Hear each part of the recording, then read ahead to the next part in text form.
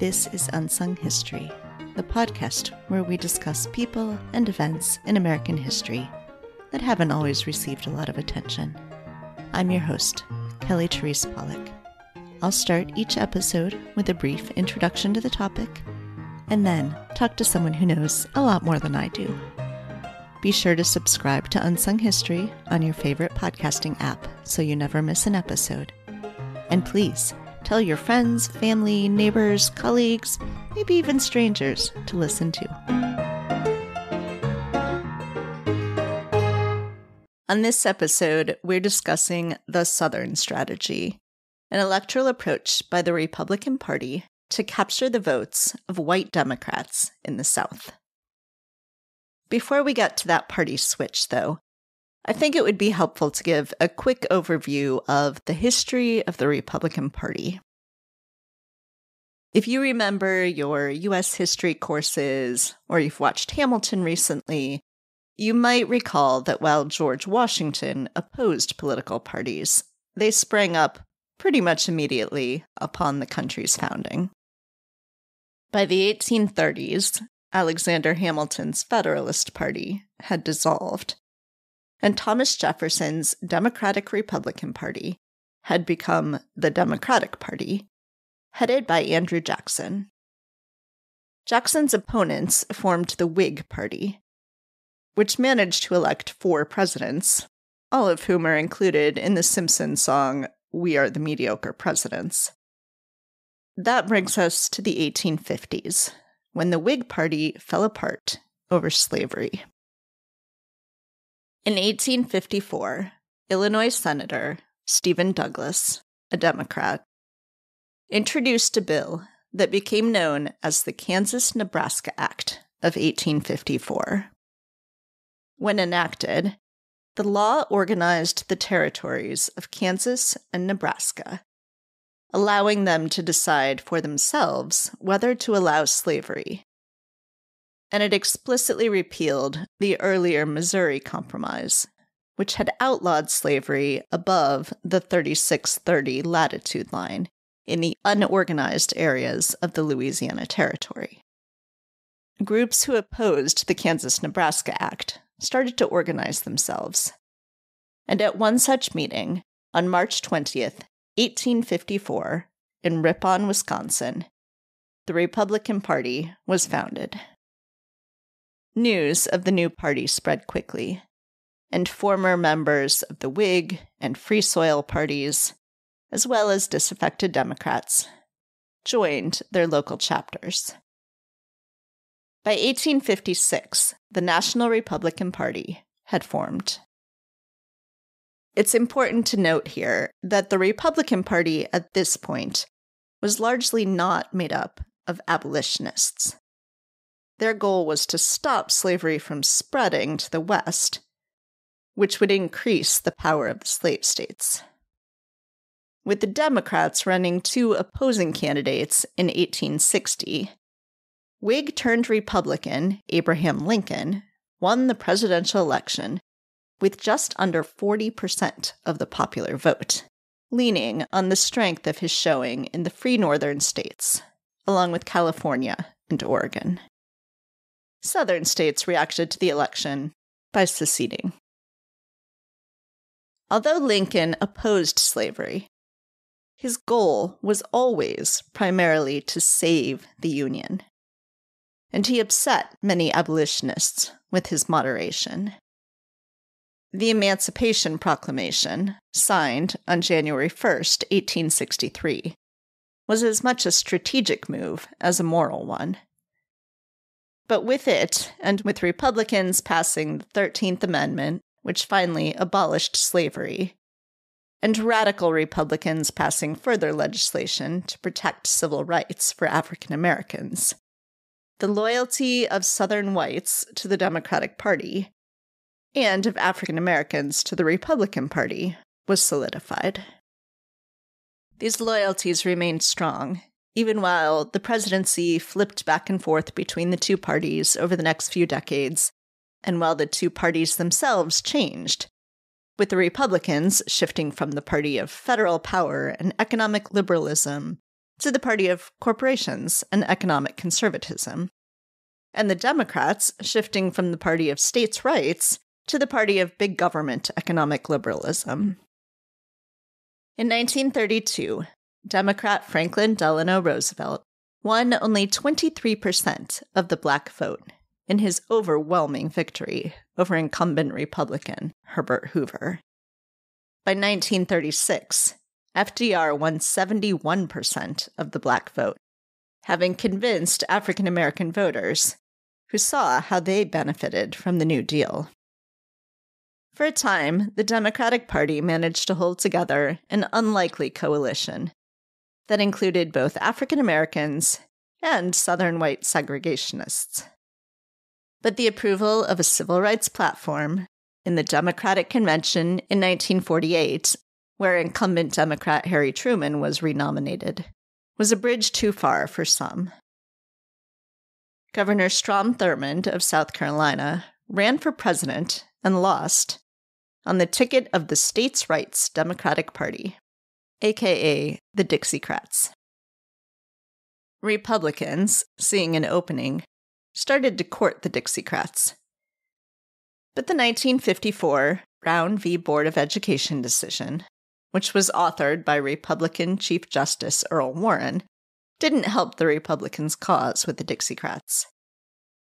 When then Vice President Richard Nixon ran for president in 1960 on the Republican ticket, he did so with a robust civil rights plank and a liberal Republican running mate, Henry Cabot Lodge Jr. When Nixon lost that election to Democrat John F. Kennedy, Republicans doubled down on Operation Dixie to increase their reach in the southern states, in many places, happily recruiting segregationists. As Arizona Senator Barry Goldwater put it, they weren't going to win the black vote in 1964 or 1968, so, quote, we ought to go hunting where the ducks are, unquote. Goldwater, touting his vote against the 1964 Civil Rights Act, lost the presidential election in 1964, but he won five states in the Deep South. A sign that the Southern strategy was beginning to work for the Republican Party. In 1968, Nixon ran again, this time following a more nuanced version of Goldwater's blueprint. Allying himself with the newly Republican Strom Thurmond, and selecting for his running mate Maryland Governor Spiro Agnew, who had famously berated civil rights leaders after a riot all while denying that they were following a Southern strategy at all.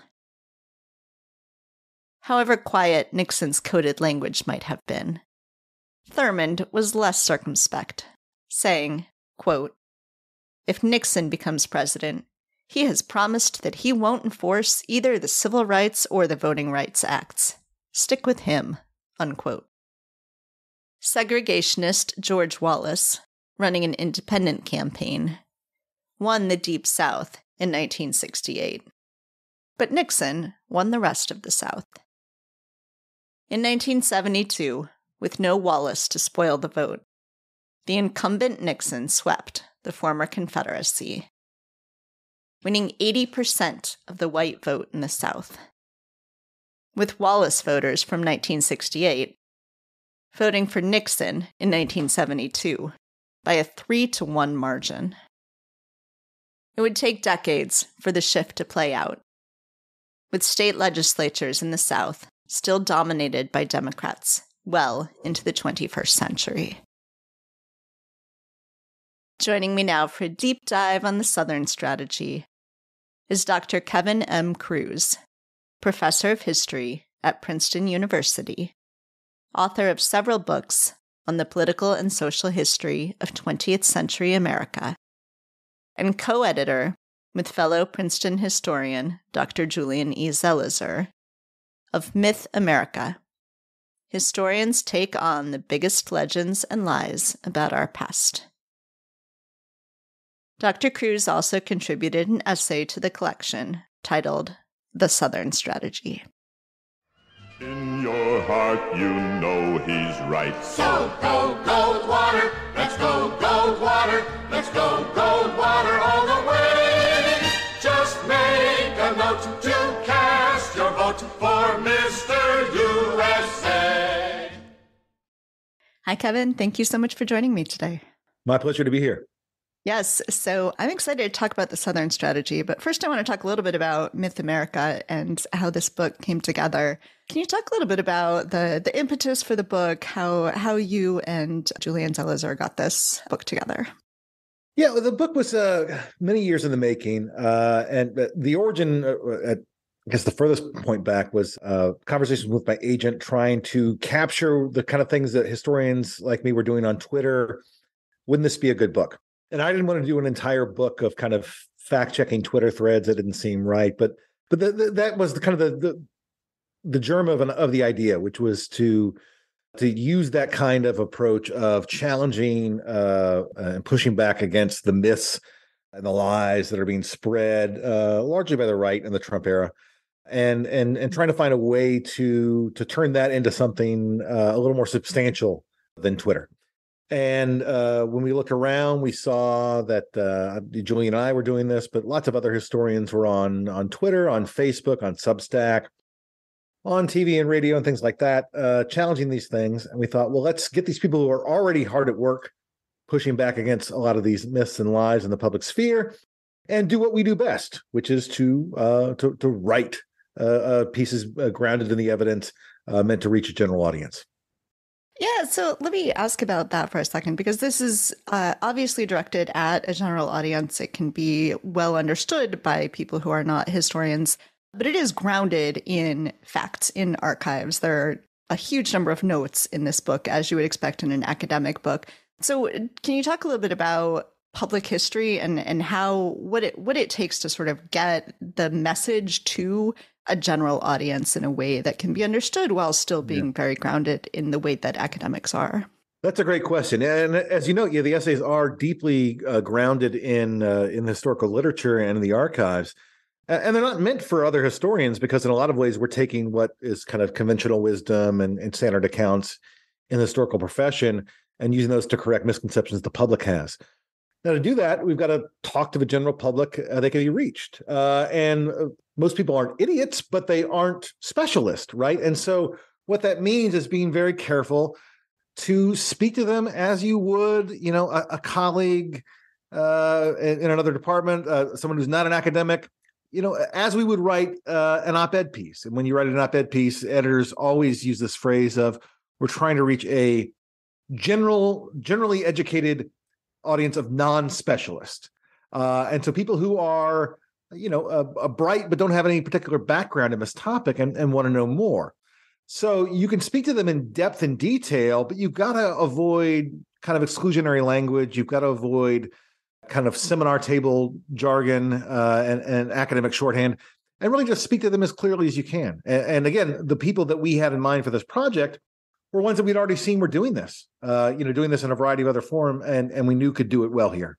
Yeah. Yeah. And it works really well. I think any of these chapters as a standalone essay, you know, really does give you a good overview. Some of the stuff I, I knew in deep ways in certain topics, but it was good to see the the overview.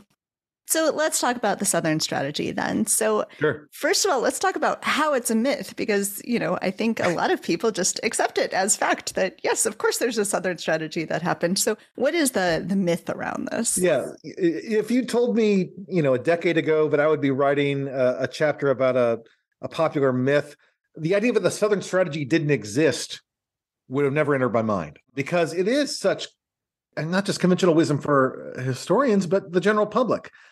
I mean, so, so the Southern strategy I should start with is the uh, the approach the Republican Party takes in the 1960s, largely under the direction of Richard Nixon, but some other folks, to uh, expand its uh, its presence to reach into the South, where it had never been popular. It always was dismissed as the party of Abraham Lincoln, uh, the party of uh, the North in the Civil War, uh, and to make inroads there by making peace with white conservatives who were segregationists, basically to bury the Republican Party's uh, rich tradition of racial liberalism and instead to make common cause with with white supremacists uh, in, in a lot of ways, at least to make peace with them.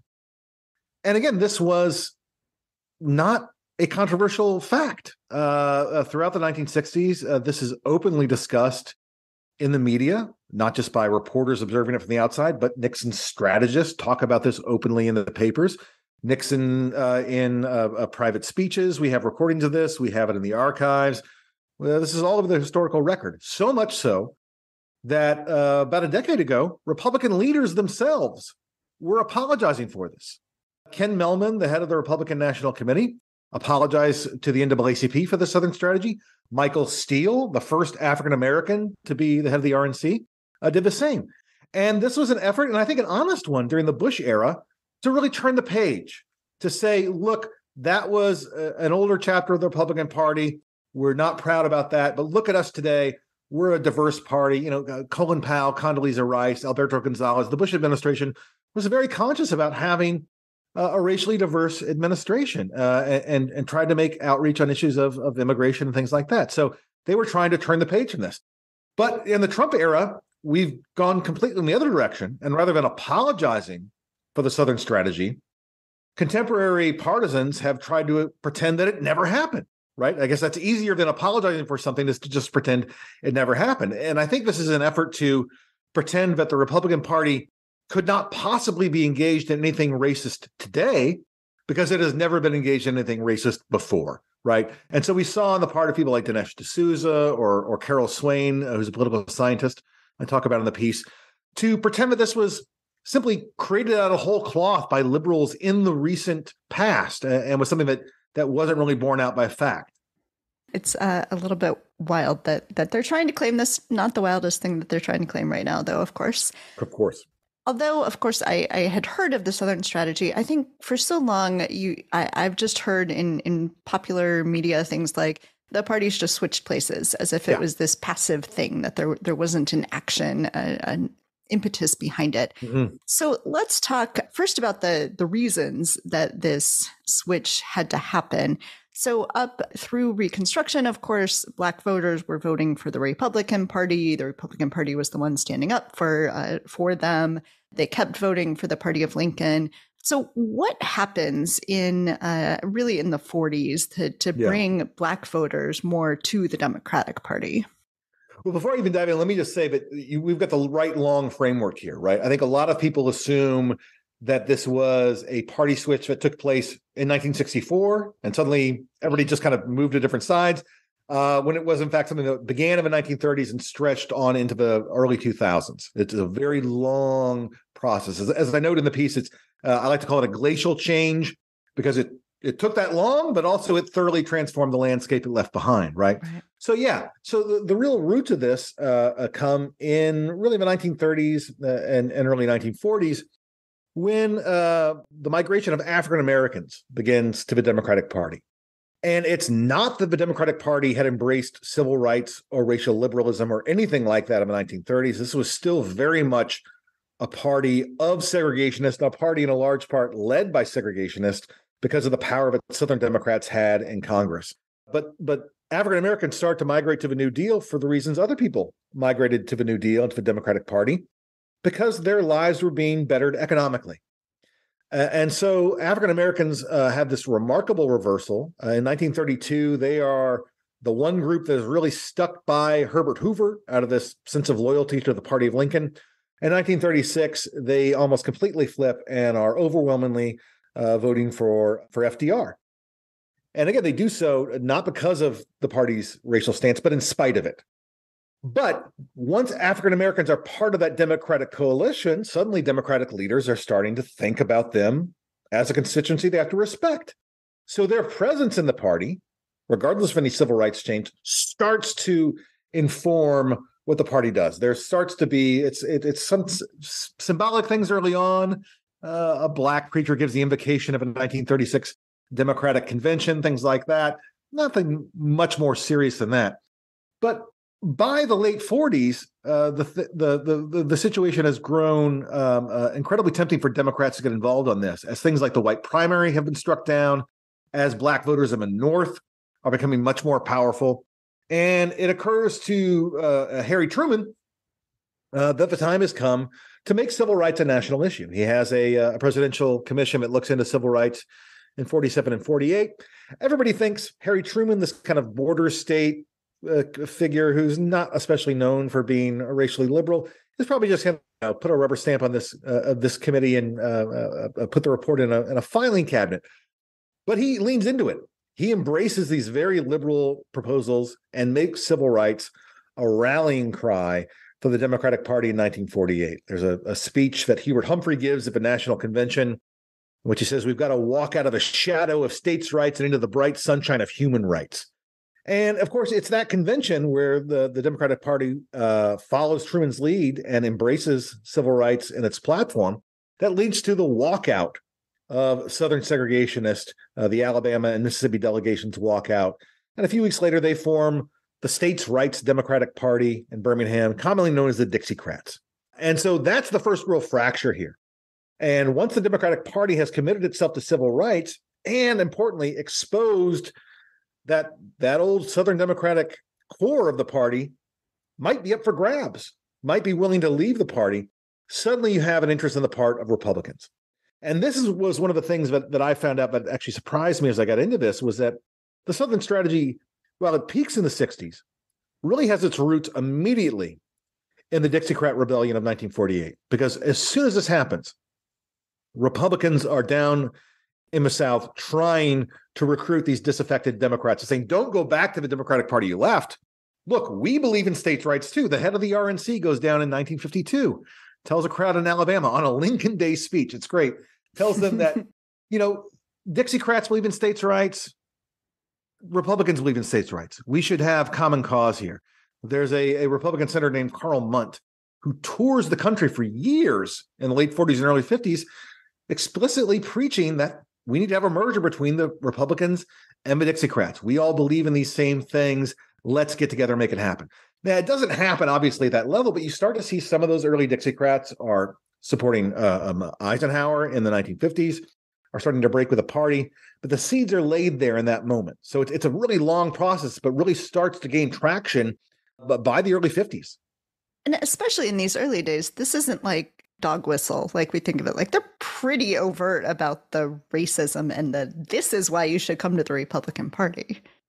Yeah they're very i mean the, the republicans for their part try to speak in a little bit of code words but the dixiecrats they're uh, they're luring are very open about this. And, and when they switch there's no again this is why it's it's so amazing to say you know um, that this was invented by historians. It's all over the record. So when when they switch, and it's it's really in the '60s that you start to see finally people at the congressional level uh, are starting to switch. You start to see really the first new wave of, of Southern Republicans in Congress. They're quite explicit about this. Bill Dickinson, who is one of the first Republican congressmen from Alabama in the 20th century, says when he switches from the Democratic Party to the Republican Party, I have joined the white man's party. That they're going to stand up for what what we believe in, right? The, the, the Mississippi Republican Party in 1964, in its platform, embraces segregation and white supremacy, right? Uh, the, the first Mississippi congressman elected in 1964 from the Republican Party. What's the first place he goes after he wins election? It's a it's a a, a speech before uh, the Americans for the Advancement of the White Race or something like that. It's a Klan group. So again, they're not subtle about this at all, and it's not that Southern Democrats are racial liberals on this. They're still segregationists, but Southern Republicans have realized that if they can act just like Democrats on that issue, well, then they're also conservative on issues of labor, on issues of, of economics, and things like that. It's a much better fit, right? So they've neutralized the one advantage the Democratic Party had, which is that it was the party of segregation, and said, well, me too. And that's their inroad. So let's talk a little bit about this split. So it, this happens, this whole Southern strategy and the effectiveness of it happens sort of from the top down. Like that, it works first at the presidential election yeah. level, and it takes a really long time to get into the state legislature level. So why why is that? Why is there? Yeah, yeah, that's a that's a very important process. Is this doesn't happen all at once, and it does have this kind of it's what um, a couple political scientists call um, trickle down realignment, right? And it happens because I think uh, American loyalties to the political parties are the loosest at the presidential level, right? There's a way in which presidential candidates are uh, are, kind of battles of personalities, and they change from time to time. There are some people who are diehard and will always pull a lever, but there are people in the middle who will oscillate between the two parties, right? And so, on matters of civil rights for Southerners, uh, this becomes starkly clear very quickly, uh, and it happens between 60 and 64. In 1960, the two parties are basically the same on civil rights. Neither one is especially uh, progressive, but they both are maybe kind of center left. John F. Kennedy uh, runs on a on a platform and to uh, to appeal to some uh, northern African Americans, but Richard Nixon in the Republican Party actually has a more liberal Republican platform on this. I mean, I mean, it's it's it goes on and on for pages. You can read this. It's detailed proposals. He really wanted to outflank the Democrats on this, right? Well, uh, it fails, and when it fails, Thurston Morton, the head of the RNC, meets with uh, Nixon and Eisenhower, and, and they basically say, uh, "To hell with the black vote," you know. And this is the start of the Goldwater approach, uh, which he says uh, at a meeting in, of Republicans in Atlanta, "We got to go hunting where the ducks are." And in the South, that means going after white conservatives. So, over the next few years, you start to see the parties really change. It ha- happens as Democrats lean further into civil rights and Republicans pull back. And it really comes into relief in 1964, where Lyndon Johnson is the incumbent president and somebody who had been a segregationist in Congress for 20 years, just like any other Southern Democrat. But by the time he has national ambitions, he's starting to promote civil rights causes. And in 64, he has leaned all in on the Civil Rights Act of 1964, made it much tougher than Kennedy had ever proposed, really leans in on this, and selects Hubert Humphrey as his running mate, the man who put civil rights on the map in 1948. Okay, that's the Democratic side. The Republican side is Barry Goldwater, who's not personally a segregationist, but importantly, voted against the Civil Rights Act of 1964. And as his running mate, it's William Miller, who had been head of the RNC, who oversaw the recruitment of segregationists uh, in the South. So they're basically the Southern strategy personified. And once you have that picture in place at the presidential level, well, it's a stark choice. And so, whatever loyalty Southern Democrats might have had to that party, they see Barry Goldwater saying all the right things and Lyndon Johnson saying all the wrong things, and they split on that. And so, this is a, a remarkable moment the Republican Party had gotten very little of the uh, of the vote in the South previously. I think in Mississippi it's something like 30% in 1960. 1964 it's 87%. I mean, they, it, it's a it's a huge turnaround. In fact, the only states Goldwater wins outside of his home state of Arizona are these deep South states. So that presidential level happens almost immediately, and you can look at the uh, the share of uh, of the black vote is a great way to, to to to trace this. It craters in 1964, doesn't really recover after that, right? It really is a realignment on uh, on the presidential level. The congressional level is entirely different, and it's different because a these these, these uh, senators especially have these long tenures in Congress, and I think this is the biggest mistake people make about the party switch is They say, "Oh, well, did the senators switch?" No, they don't switch. Uh, Strom Thurmond is the famous example, but Strom Thurmond switches parties because all of his power is protected. Power you have in Congress, and this time it's especially pronounced even more so than today, comes through your seniority, right? And so if you were a senior Democrat, as many Southern Democrats were, they were the ones who've been elected the longest. And if you were in the majority party, as the Democratic Party was, you could be assured a committee chairmanship, right? Or or, or a very strong uh, uh ranking role. That gives you a lot of power. But if you switch parties, your clock starts over and you're now the most junior member of the minority party. You go back to square one. No 65 year old, 70 year old politician is going to start over that way, right? So they just ride out their careers uh, in Congress. Strom Thurmond got a special deal that preserved his committee uh, seniority, and he took it.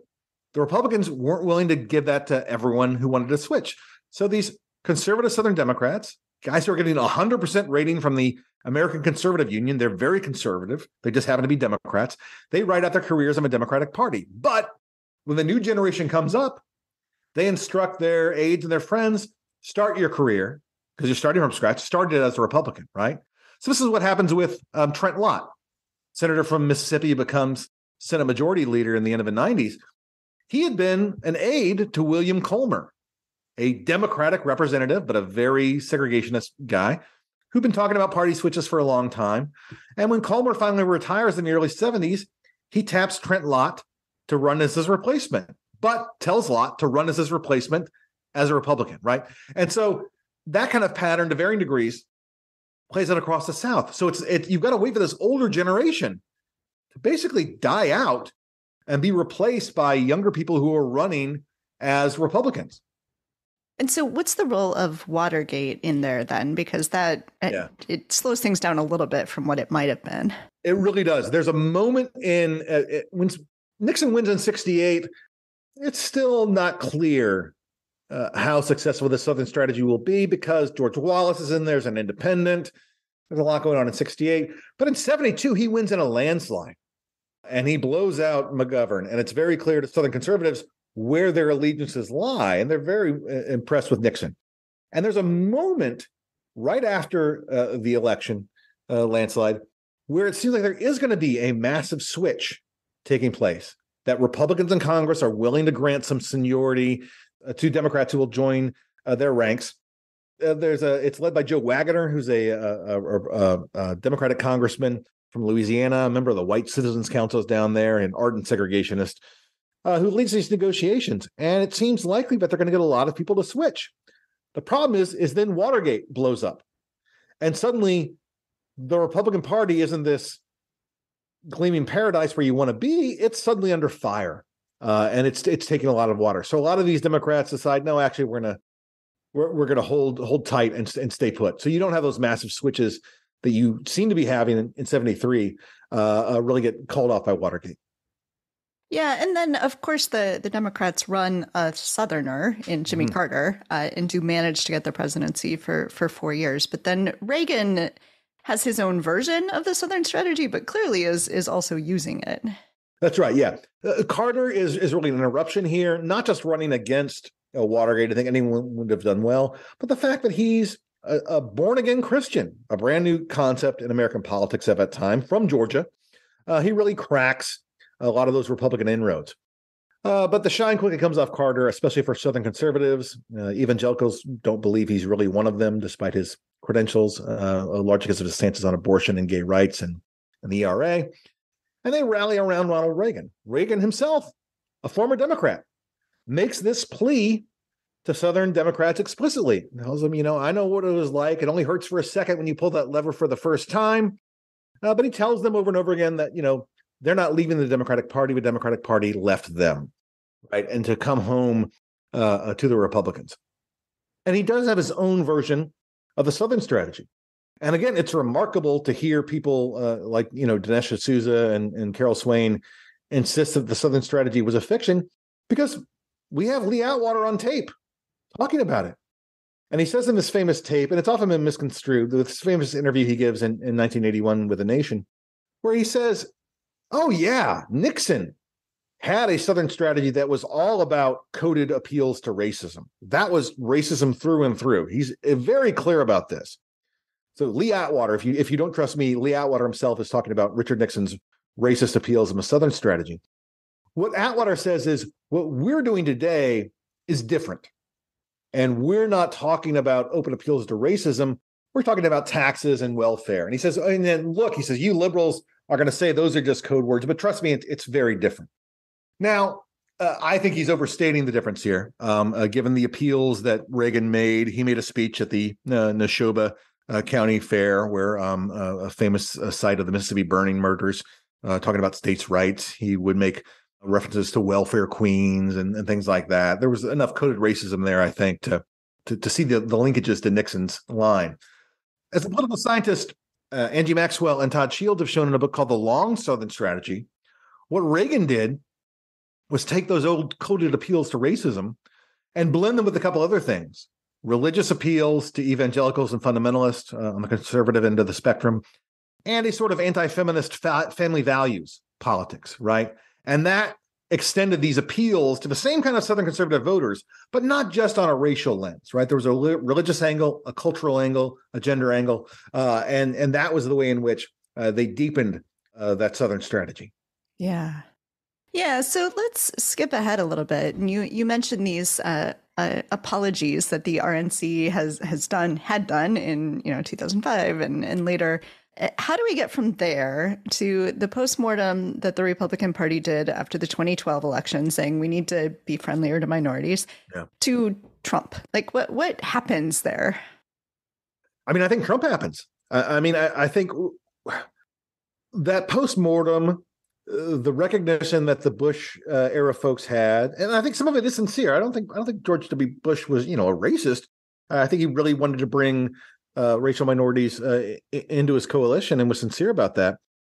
But it's a it's a it's a it's a slightly contested view, right? There are those within the party who see that as a misstep, uh, see that as a mistake, and so when he you know pushes for immigration reform, uh, it, it, it blows up in his face, uh, largely because he doesn't have the kind of the, the Fox News base around him.